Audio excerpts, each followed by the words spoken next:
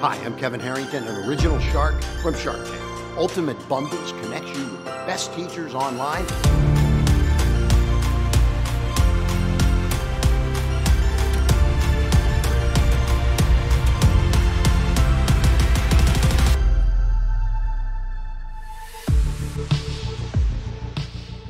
Welcome to Five Steps to Keeping Your Patience as a Parent. I know that one of our goals in parenting is probably not to yell as much, not to react as strongly emotionally, be able to keep her cool, keep it under control. Well, I am here to tell you that there is a huge misconception about being a more patient parent because a lot of times we think that, you know, we just shouldn't react to situations as much. But there is another key to that. There's the key of taking care of ourselves, honoring our own emotions as parents, making sure that we are taken care of, we have that self care, we have those restoring activities to uh, give us more patience as a parent. I'm JoAnn Crohan, and I am so excited to be here with you today. Uh, my goal is to help you be an amazing parent, but also take care of your own self, take care of your own needs. Those things go hand in hand. And here's how we're going to make it happen. I want you to think of this acronym when you think about having more patience as a parent, and it's peace. And it stands for pause, ease, assumptions, chase the why, and exhale. Because before you can start preventing the yelling and the reactions, uh, you need to first reflect and figure out well what caused my reaction in the first place what what made me feel that way in that moment i definitely want you to leave this session having some strategies that you can put into place so that the next time something happens you can start and think of peace and have a way to react. Pause a lot of times like you hear take a breath uh, you know, be calm in the moment. That's not what pause is. Because when our emotions are going full tilt and like that anger just builds up inside of us, there is no stopping that train. Like we can't just hit the brakes and be like, whoa, I should pause. It doesn't work that way. Instead, what I want you to think of with pause is after the situations happen, after you've lost your temper and maybe you've yelled or maybe you have said something that you regret, I want you to go back and look at that situation. You're pausing after the fact. And when you look at the situation, look for these specific things that might have been going on. We like to think of it as an acronym of HALT. So I want you to ask yourself were you hungry when it happened? Hunger has such a bearing on situations. Hungry is an issue. So ask yourself was I hungry? Was I angry? Was something else bothering me in that situation? Did something happen in at work that I may not have dealt with emotionally to like the fullest extent yet? Or was I angry at something else that was going on in the house? Because when we're angry at other situations, that can spew off into our kids and into our family. Was I lonely?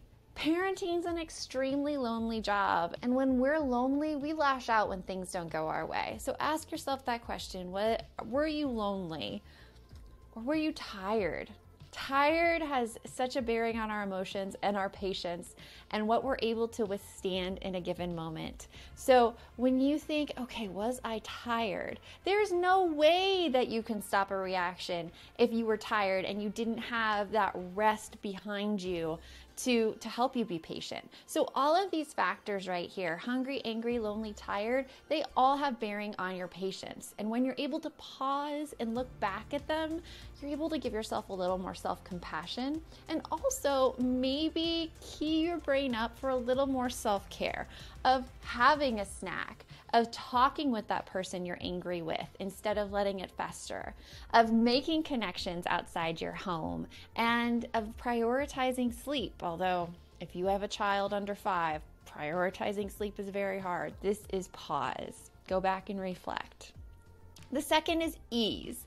We want a way to easily deal with the behavior situation when it comes up. Maybe it's that one of your children is supposed to unload the dishwasher and they haven't unloaded the dishwasher and you've asked them a billion times to unload the dishwasher. Like, what's an easy way that you can handle this situation? When then? It's simply saying, when this happens, then this can happen. It's not a bribe, it's not a punishment, it's just dictating the order that things happen in your house. So here's some examples of it.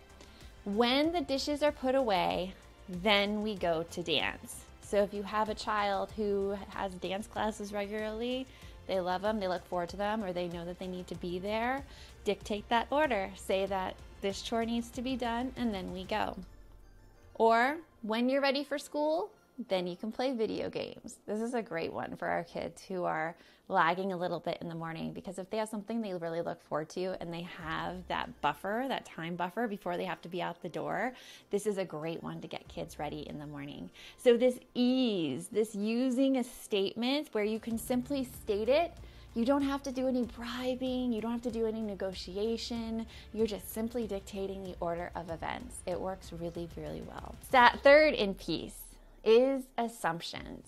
A lot of times, this is where we can get ourselves pretty worked up as parents because we as humans we like to find reasons behind people's behaviors. Like it helps us if we can really like understand it in our brain why somebody acted a certain way. And so we fill in we fill in assumptions. We do this for pets too but it's a little less like destructive in pets. We're like oh they're looking at me that way because they are really excited to go to dog school is what I say about my dog Addie all the time. So our brains fill in these assumptions. It's completely normal, it's completely natural. And what I want to do right now is I want to make you aware of some of these assumptions that you might be filling in for your own kids. Because we like to think of behavior as an iceberg. There are certain behaviors that we always see. We see them above the surface. And a lot of times we're assuming the reason for these behaviors that may not be the case. For example, when we see our kids talking back, we think, oh, it's because they're disrespectful. It's because I haven't set good enough boundaries as a parent. It's because I have failed in my parenting ways. We like to blame ourselves and we like to think of reasons for things happening.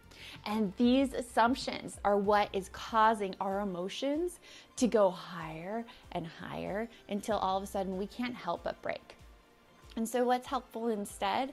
Well, we want to be chasing the why. we want to figure out the actual reasons behind our kids' behaviors so that we're not thinking about these destructive assumptions which are making us madder and madder and madder. We look for the real reason. And the truth is is that since behavior is an iceberg, there are actually all these reasons lying underneath the surface as to why uh, our kids are acting the way they're acting.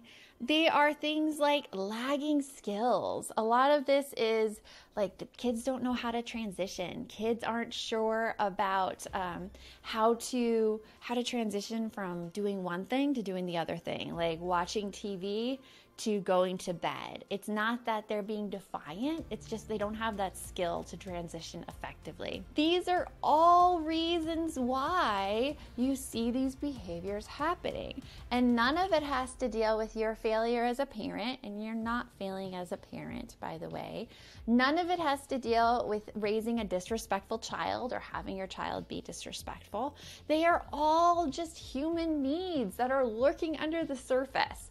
So, if you ask yourself, okay, when you see your child talking back, and the reason they're talking back or the reason they're not listening to you is because they're hungry or they're tired, right away, your patience probably improves.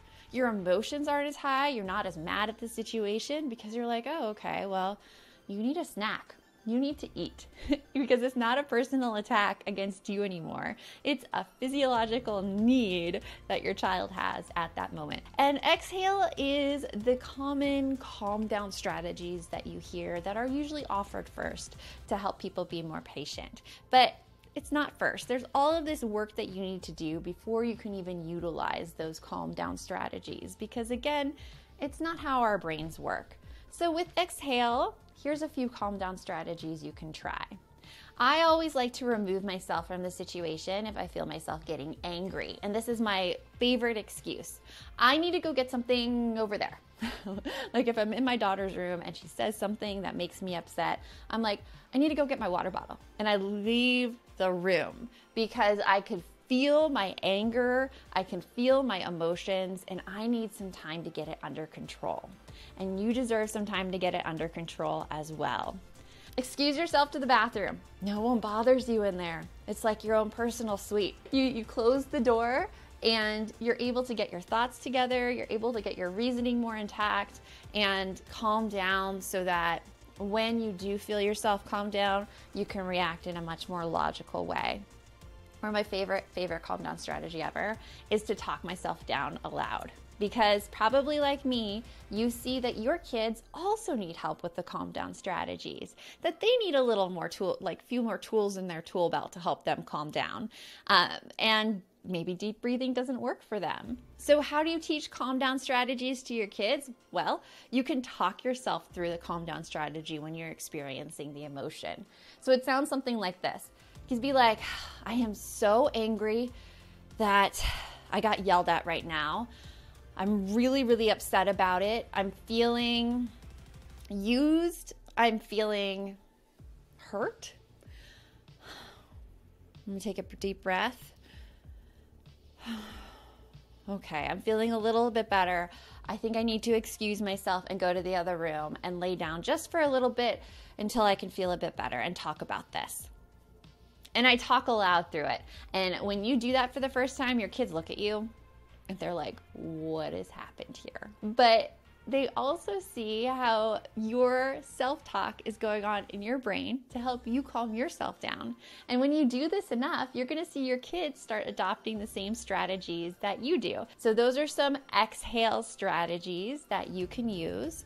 I want you to right now Put these into practice. Think of a, the last time that you lost your patience, that you didn't fulfill that parenting goal of being more patient, and go through the peace steps. Pause. Were you hungry, angry, lonely, or tired? Did any of that happen? Think of ease. How could you have used a when then to help yourself through that scenario and to tell your child what the steps that were going to happen? A, what assumptions were you holding about your kids in that moment? What might have gotten you a lot more angry? What self talk did you have going on? C, chase that why. Was there another reason for your kid's behavior? Was there another explanation that had nothing to do with shame or with guilt or any disrespect or disobedience on their part?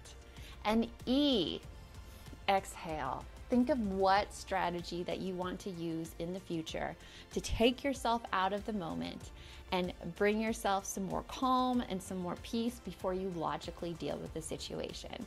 And I need to tell you that E for exhale, it may not happen right away. You may not be able to catch yourself right away when you're angry, and that is okay because the more you go through the first four steps of the process the pause, ease, the assumptions, and the chasing the why the better able you will start recognizing in the moment when you need to take a break and when you need to remove yourself.